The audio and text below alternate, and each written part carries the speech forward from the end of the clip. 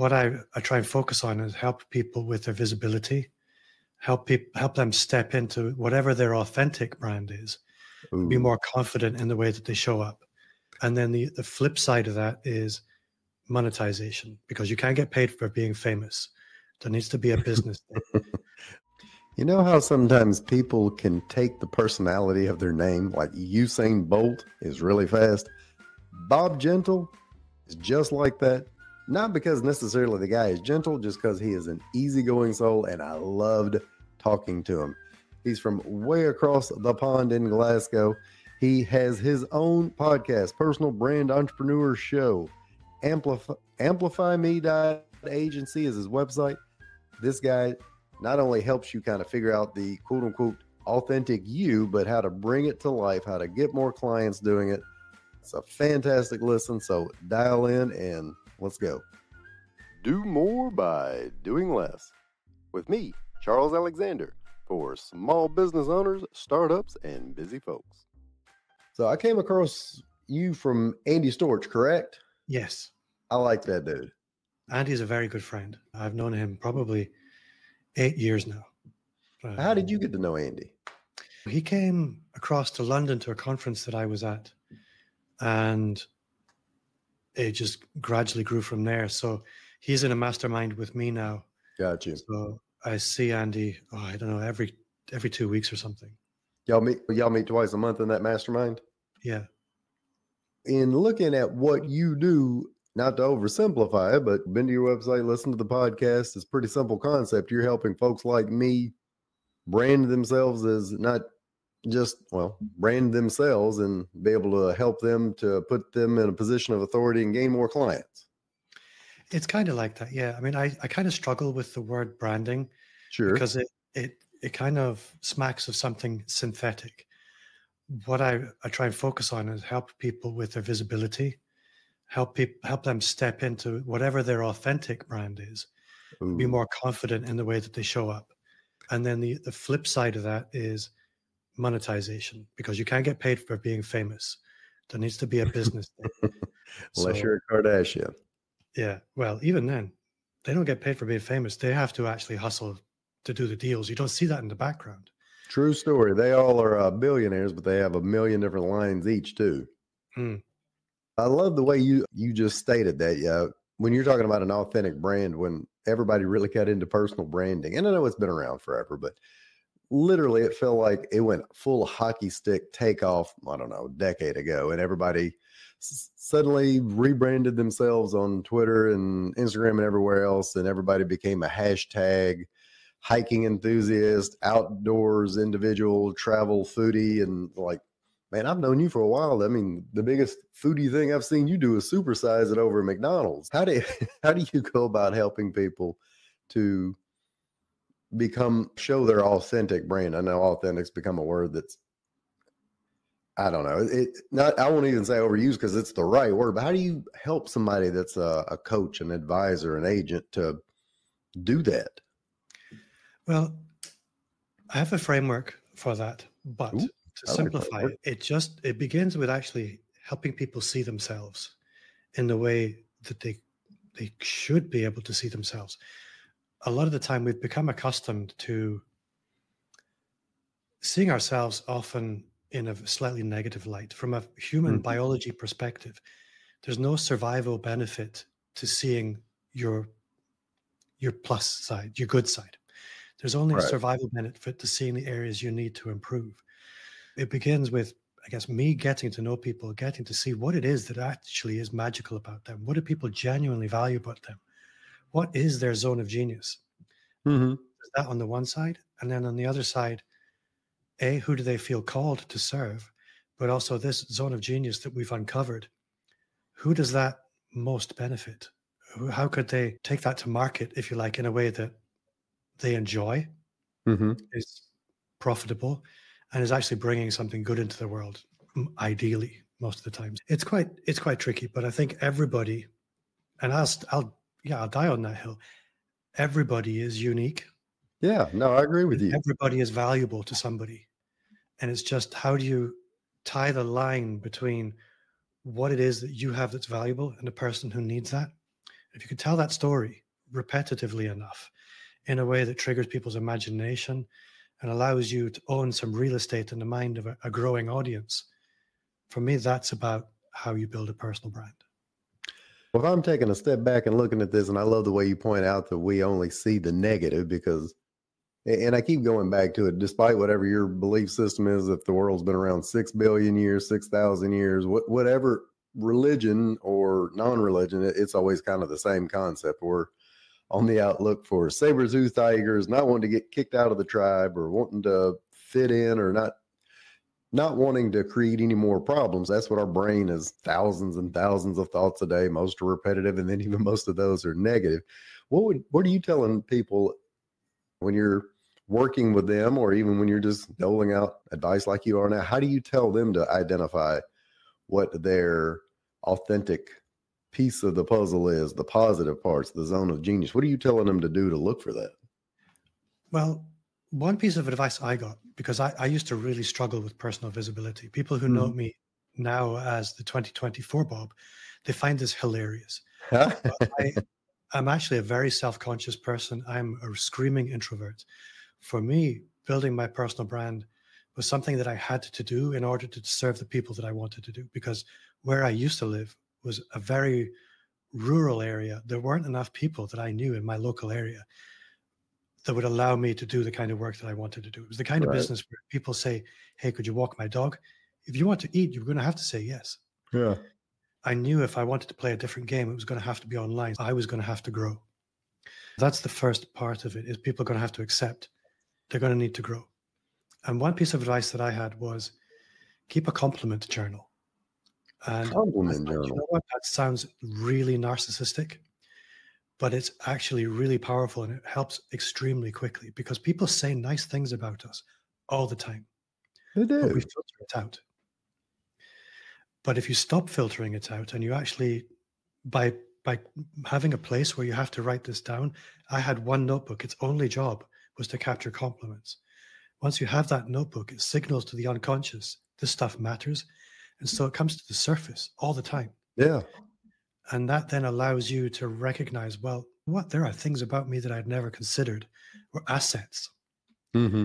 There's another aspect to this, which is when you start showing up online, people start commenting on qualities that you'd never considered. Really? Until I started my podcast, which was about four or five years ago, nobody mm-hmm. had ever mentioned my voice as an asset. When I started the podcast, people started coming back to me saying, Your, your voice is amazing. Thought, yeah. Really? Cool boys, Bob. Never have considered that. Hmm. We all have these hidden assets that until mm-hmm. we actually start using them, we'd never have known about. And I think there was one other point I was going to mention. It's terrible. There's one thing about being a podcast guest, which is different from being a host, which is you can't write down what it is you wanted to say.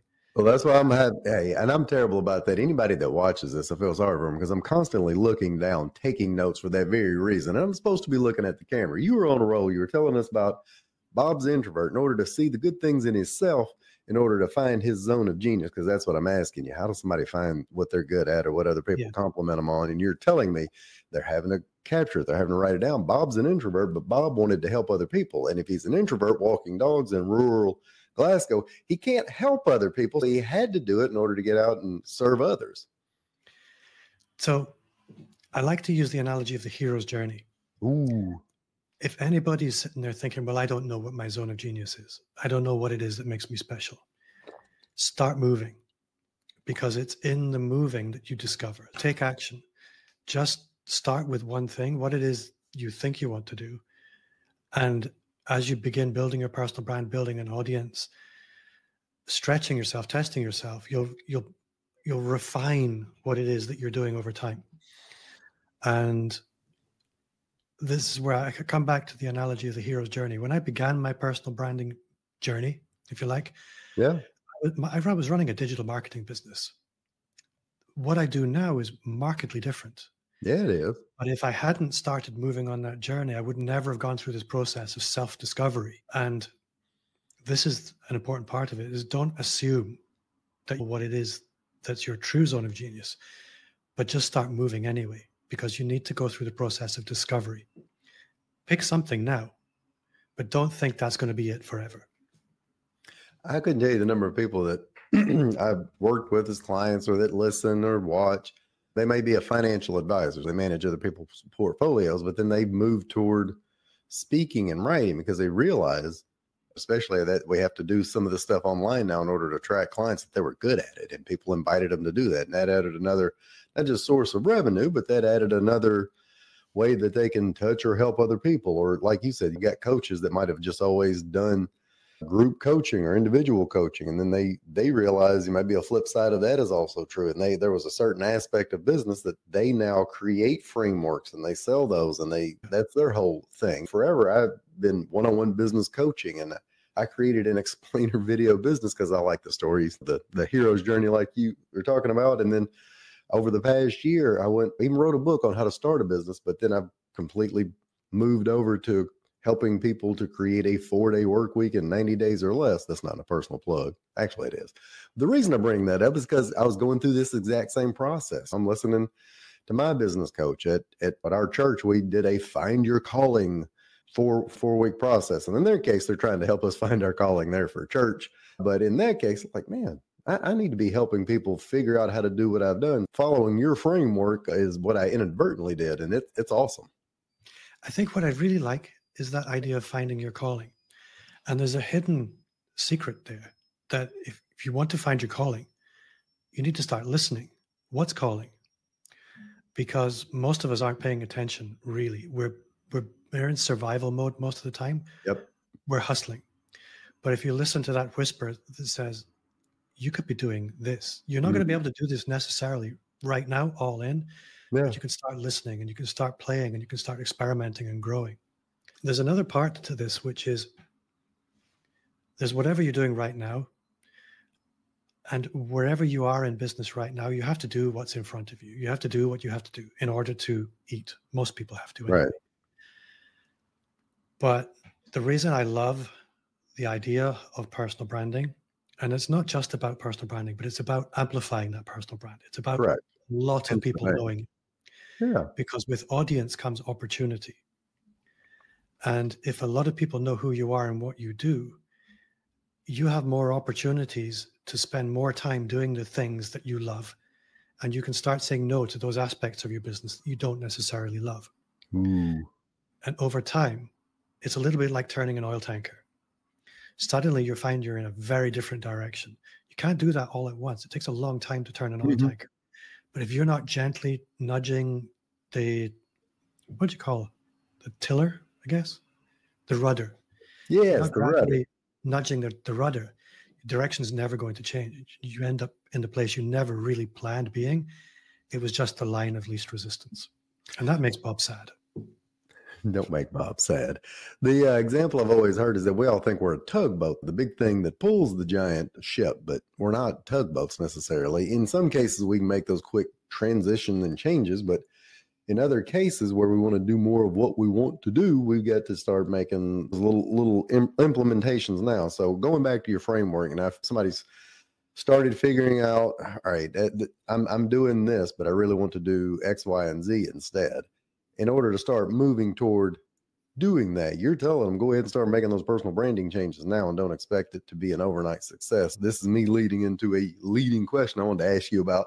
Even if nobody were to ever listen to this, I'm going to get all I can out of it because I know you've been like you just said you started podcasting four or five years ago and you're big on I think it sounds like helping some of your clients get into podcasting and not just podcasting but podcast guesting as an actual source of meeting and networking and I only started mine gosh just less than a year ago. I wish I'd have started it four or five years ago because that's when I started talking about it and if I'd have done that I'd be where Bob is now and I'm not got the cool haircut but that's it why should somebody, let's say podcast guesting, that's easier start than podcasting. Why should somebody do start doing podcast guesting once they get some of that framework figured out? Podcast guesting. We'll start with podcast guesting. It's you're known, you're judged by the company you keep. If we were to take a really brutal, what do you call this, mercenary approach to sure. building a personal brand, we're judged by the company we keep if I post on LinkedIn or Instagram or Facebook, here's a screenshot of me hanging out with Charlie Alexander. That's right. People are going to think, hey, Bob must be a bit of a big deal hanging out with that yeah, fancy American. Yeah. And that they'll they'll put that to one side. It happens again a couple of weeks later. Hey, look at this Bob hanging out with Mark Schaefer. Wow, that's pretty cool. Sure. This repeats again and again and again over a period of years. They start to put me in the big deal box. There's just a, an, an automatic impulse. And what that's doing is over time, it's is working with the neurology of the people who actually know us. Sure. And I give you a great example of how that can work over time. There was a guy, maybe 15 years ago, I pitched to build a website because that was my business back then. Yeah. For an HR company, human resources. Don't know what you would call them in the US. Probably something similar. And they were the biggest in town. And I didn't get the work. And I got the distinct impression that the guy who ran the company really didn't like me a couple of years ago, I get a call from a guy, same guy. He's now the CEO of the local enterprise agency, which is a big deal. This is the, the organization that supports small business across the whole region. Sure. And he said, Bob, you're the only person who can help me. Ooh. He had completely changed his own narrative about me. Yeah. You didn't have to do it. Why? Well, because he this drip, drip, drip of uh, perception over time completely transformed who he thought I was. That's one aspect of it. Yeah. Another aspect is you and I are speaking now. Mm-hmm. After this call, I'm probably going to ask you to tell me about your business. And then I'm somebody who takes relationships very seriously. I help people wherever I can. And if I see somebody who fits your ideal client profile, you can guarantee you're going to get an email introduction. Um, again, that aggregates up over time. Yeah. And uh, networks are very powerful. And if you look at how my business has changed over the last three years, really, where previously my business, and this is a good way of measuring it, was 95% UK, not even 95% Scotland, not even UK. And now my business is probably only 30% Scotland. The rest of it's worldwide. And my business remains predominantly driven through referral. It's just my relationships and my network have completely changed. Yeah. Um, similarly, because I regularly show up talking about what I do specifically, and people get to know me before I ever meet them, by the time people come to me, they've already decided they like me. They know what is what it is I do very specifically. I don't really have to pitch. I haven't written a proposal for three years. Wow. I send people an email saying, I would love to work with you. Here's a payment link. That's it. It's a good deal, Bob. Yeah. So there's that. Yeah. But there's so much more. Your search engine marketing profile, if you can imagine, if you're somebody who has a website and you're regularly showing up on other people's podcasts, every time you do that, there's a very good chance that they're going to put a page on their website about that episode. On that page, there's probably going to be a link back to your website. Aggregate that up over 50 to 100 appearances over time. That creates a substantial inbound link profile for your website, which any SEO expert will tell you you can't buy. It's very powerful. And then there's the support network. If I, I, I know through my podcast, A, as a podcaster, but B, also as a podcast guest, most of the world's experts in anything to do with digital marketing, online sales. If I have a question, I don't have to go through expensive processes to get answers. I just call my friends and I have the answers. Yeah. And often they'll do the work for me for free. Don't tell them I said that. Sure. But also, what goes around comes around. I'm a very generous person. Yeah, you are. That's the long answer to a short question. I well, no, that that's four. I mean, five great points there. You're talking about the first and foremost is the authority of it, and I'll go back to I guess the original question is I've had people that I've worked with. So the concept of the podcast and what I do, helping people do more by doing less. Uh, one of the things that everybody gets frustrated with is constantly trying to drive in new leads, drive in new revenue, drive in more clicks. And we don't want to have to do it in a way that feels sleazy, spammy, or not authentic. We just want to be, we just want to hang out, be cool, do what we love, talk about what things we we're passionate about and then hope everybody comes and finds us. That's not an overnight process. You've got to, if you want to start building that brand, you have to start doing it now and you have to guess. And, and there's not a right number unless Bob tells me it's 48, which would be great because then I would immediately start working on the number. But there's not an exact number. You might have to do this months, who knows, maybe a year or two to start getting in that drip. But once you do it, you've built that authority like Bob is talking about. I've been lucky with just even hosting my own podcast where I've gotten people that I've read their books, made notes in their books, and then invited them to be on it. And lo and behold, they did. And it's only because I sent them a video of somebody else that was cooler than me, so to speak. I'm gonna send everybody once they find out I've got Bob on here, I'm gonna flip out. I'm gonna go get everyone because they like Charles got Bob.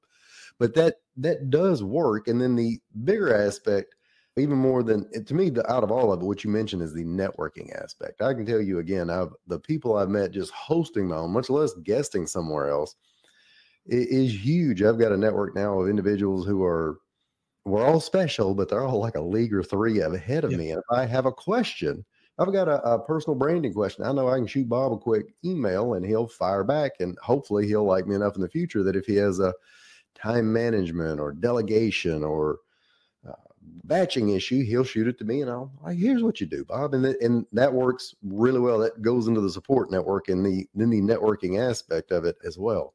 Bob, how do so?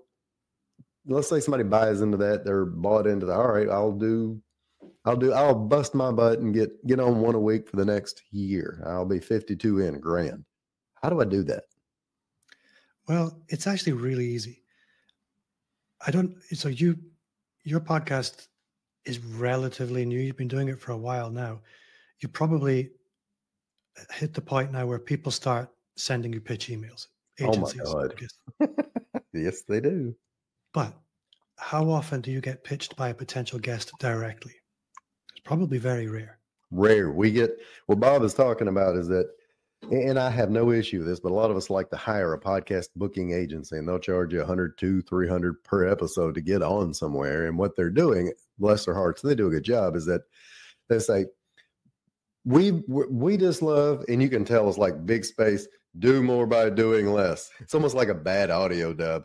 And, and then they, they don't know nothing about my podcast. And they'll tell me all about Bob and why he's a great fit, even if he's not a great fit. Bob's a financial specialist teaching people how to flip houses. I'm like, oh, I get these multiple times every day, and I, I glance at them and I hit delete. I've I've got to the point where I don't even reply to them saying no thanks anymore. But if somebody messages me directly or emails me, they have my full attention because it's it's that unusual.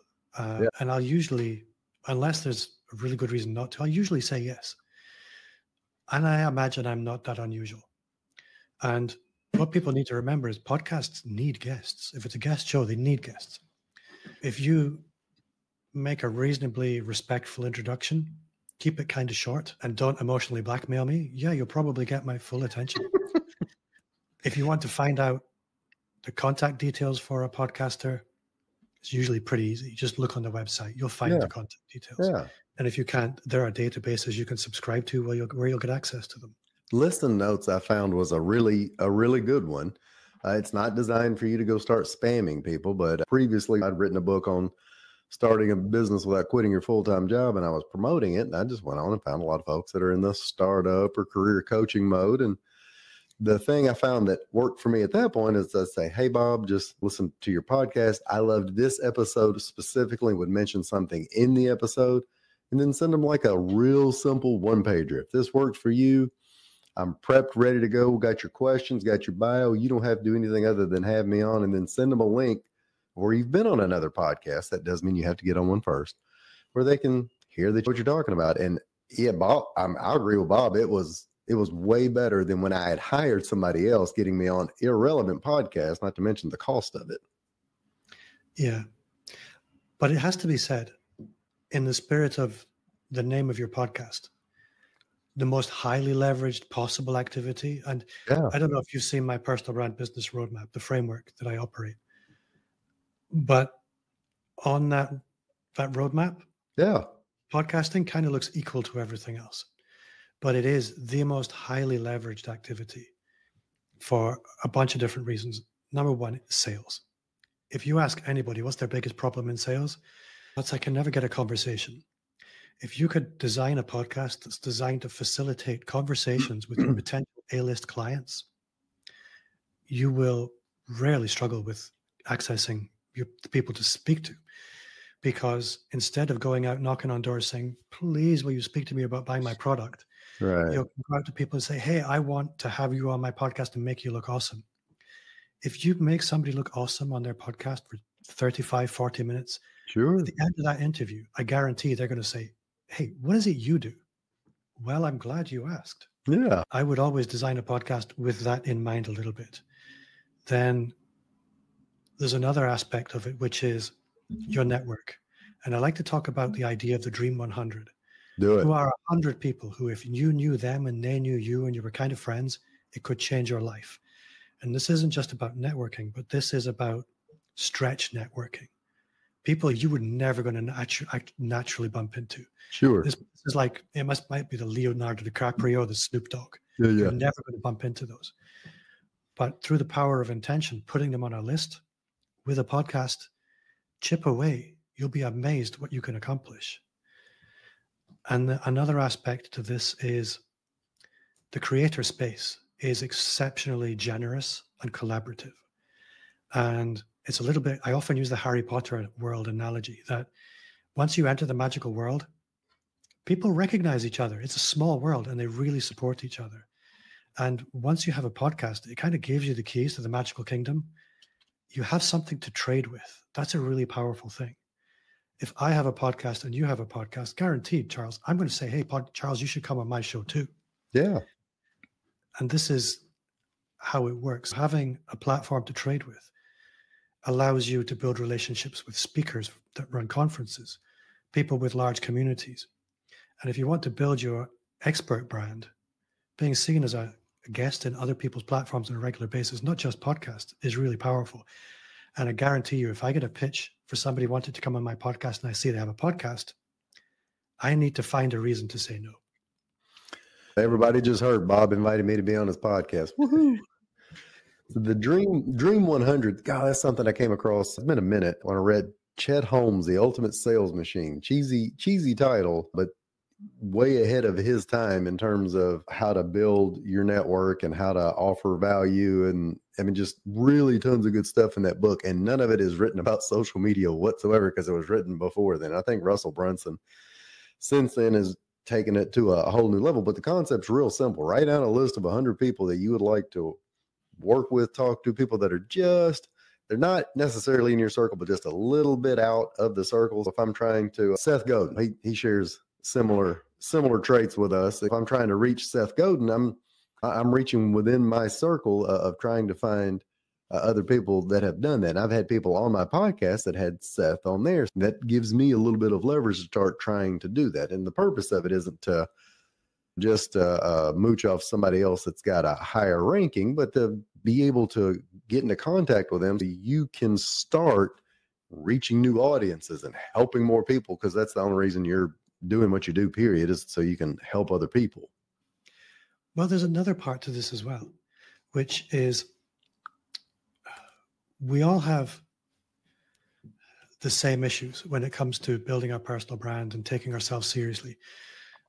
Imposter syndrome is way more common than people realize. Mm-hmm. It's pretty universal. As a, a friend of mine did an academic study on imposter syndrome and found that 80% or something like that of high achievers experience it on a daily basis. Similarly, comparison. We all compare ourselves with other people, and we only ever compare those ourselves with those people that we perceive as ahead rather than behind. Correct. And there's a whole other swathe of uh, emotional and, and mental uh, bear traps for us to fall sure. into when we're trying to grow. But when you've got people that you look at as mentors and role models telling you what you're really good, it has a big impact on you. And it happens all the time, but only if you put yourself in a situation where you're regularly having conversations with these people and it changes how you feel about yourself. And once you change how you feel about yourself, you can show up differently and it becomes a self perpetuating sure. journey of growth. That's uh, yeah. I mean, that, that's an excellent w- way to frame that. All too often, we just get in our own little, little bubble, little. I don't know. We we join a Facebook group of one, and everybody in that group is mean to us, and we we don't take a take the time to kind of look at what everybody else thinks of us and some of those positive traits. Start wrapping wrapping up where we are. What are some you've given given us a lot to think about building your brand, how to try to start looking for what you should be doing or transition more to it. We talked a lot about podcasting. Are there some easier, lower hanging fruit ways to kind of not be, maybe not even sell, but to make make more of those, yeah, to sell, to make more connections like that? I think truthfully, I come from a marketing background. Yeah. And as somebody who comes from a marketing background, it frustrated the pants off me. it didn't seem to matter how much marketing you did. The sales team would just sit quietly and do very little. Sure. And whenever most organizations, and I say solopreneur businesses are exactly the same, whenever they want more customers, instead of looking to sales processes, they look at marketing. Like if I can only shake this tree a little bit harder, maybe the fruit will fall out. Yeah. Rather than getting a ladder and climbing. Although I put a lot of emphasis into building and marketing personal brands. The companion work to that is helping people build a sales process and becoming a little bit more courageous about starting conversations with strangers. If we take something like email marketing or email list building, which people sure. will be familiar with the idea of email list building. Yeah. Most people let these email addresses trick, drop, drop into a basket and they look at them and they admire them. Look at my email list growing. And they mm-hmm. might send out an email. But do they look and see who are these people? Do they connect with them on LinkedIn? Do they this subsequently cheer on what those people are doing, build a relationship with those people on LinkedIn, and then say, hey, I saw you did this thing. It was awesome. And that will probably lead, lead to reciprocating conversations where people think, say, what? Nobody's done that before. And nobody's paid attention to me for a second. And I've noticed what you're doing too. And I'd really like to speak to you about that. Wow it's so simple. Um, simply using our existing networks to start conversations by trying to be valuable first. Sure. Um, there's a funny psychological phenomena where if I was to meet you in a room and I said, Charles, your shoes look wonderful today. You're hardwired to look for something just nice to say about me. That's how the law work. of reciprocation. Yeah. You can use that within a social setting to trigger conversations where people feel like they need to reciprocate, they need to talk to you. And it's just by going onto social media with an attitude of generosity, quite authentically, sure. spending 20 minutes a day trying to change somebody's world, that will come back to you. It's a very simple sales process. So, by the way, I love that. That and most of the time we don't do that. We're just DMing, and I'm bad about this DMing and inviting people to something that I'm offering value, but I'm not taking the time to say, Hey, Bob, I love that long sleeve blue and green plaid shirt. It looks cozy. By the way, it does. Bob, we'll, do a quick transition here. What's what's your favorite book, or what is a uh, a book that you've read recently that you'd like to tell us about? Well, I feel really late to the party on this, but I, I'm a productivity guy. Yeah. And I've used all the systems. And I remember probably 10 years ago, there was a guy in my office. He was keeping this funny little journal. And I thought, what the hell is he doing? This looks really complicated weird. And I just stumbled across a book called The Bullet Journal Method. And it has completely changed the game for me. What's uh, the name of it? It's called One Second. Show me. For those of you listening, Bob's got a cool library behind him, and I think he's got a Commodore 64 back there. Probably back to front. It's called the Bullet Journal Method. Track your past, Bullet order journal. your present, and plan your future by a guy yeah. called Ryder Carroll. Yeah. And it's all about going super analog with your productivity. And I've been working with mm. this for a mm. month. It's so good It's so refreshing, so liberating. And what I love about it is it's not just about the productivity, but it's also the where the awareness and the intentionality that you bring to to it. So that's been really good for me. I've really enjoyed that. I do love going analog to kind of get yourself focused. So Bob was telling me, folks, before we hopped on here, he's already down to a four day work week. So congratulations to him. And to wrap up, I always ask everyone the same question. Bob, so in being a productivity guy like you are, what is something right now that you really think you should personally or professionally be doing less of? I'm a people pleaser. And one big problem I have with clients is when I see a problem and I can fix it, I jump in and fix it because I'm sure. a technical guy as well. Yeah. I find myself offering to do so many things that I shouldn't. so for me, it's just becoming better at saying no internally. Obviously, I wouldn't do that externally. Sure, Bob's over there connecting people's Zapier to uh, Active Campaign and Google Drive for them. oh, all the time. If you quit doing all of the people pleasing, which I highly recommend, if you quit doing that, what will that let you do more of? Well, I think sales. Okay. I would really like to spend more time doing that because I mean I have enough clients. But the nice thing about sales is you can be and this is, I would really like people to listen to this. If you're somebody who gets all of your work through referrals or content marketing or mm-hmm. things like that, you get what you get. That's it. The customers that come to you, they're what you get. But if you're intentional about outbound sales and actively going after the people you really want, you get to choose the customers. Oh, that's right. That's really cool. I want to spend more time on that where I can go after those people where I, where I see real alignment. Um, and well, alongside that, more content, content marketing, because I really enjoy it. Well, speaking of doing that, Bob, how does somebody how does somebody find you? Well, I am super easy to find. You find me on pretty much every social media platform except Truth Social. You will not find me there. Just search at Bob Gentle or Bob Gentle anywhere you go. I'm really easy to find. My website is amplifyme.agency. Fantastic. Bob, super cool to meet you today, my friend. And uh, you have a great rest of the evening. And you. Thank you very much for having me. Don't take off just yet. I've created a new program just for you, helping overworked entrepreneurs create their very own four day work week in 90 days or less. Look, if you'd rather spend more time with family, friends, traveling, exercising, having the time to do what you want instead of, I don't know, putting out never ending fires, tackling another to do list, and checking email at 9 p.m., then go to my website, yourcharlesalexander.com. If you've created the income you want but don't have the time freedom you deserve, then this is for you. And as always, if you don't, an angel may actually lose its wings. True story. Have a great day.